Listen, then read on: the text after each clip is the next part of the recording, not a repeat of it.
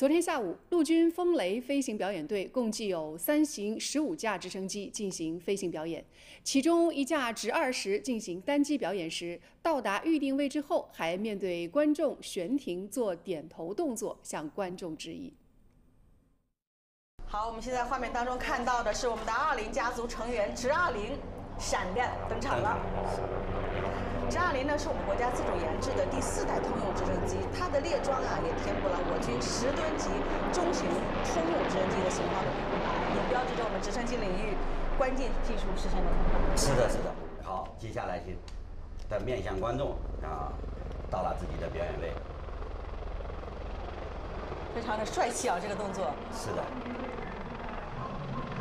调整自己的状态。对他调整好他的位置。就就在我们的正前方。对，就在正前方。好。全屏点头的一个动作。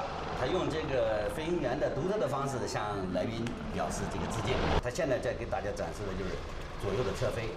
这个左右侧飞呢，就是体现直升机的机动性。啊，这个直升机的机动性，直升机的它特点就是说，我的机动性就是说高度低，隐蔽性强，我可以在三百六十度任何一个方向飞行。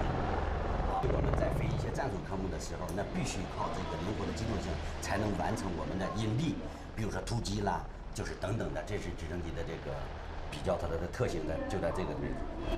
其实我们这个直升机的航展啊，大家都说，哎，战斗机我们可以听到这个轰鸣的声音，是的。但直升机我们看什么？那速度它并不是很快，它并不是很大。但是直升机呢，你可以近距离的。现在我们在画面里，我其实我们的观众呢。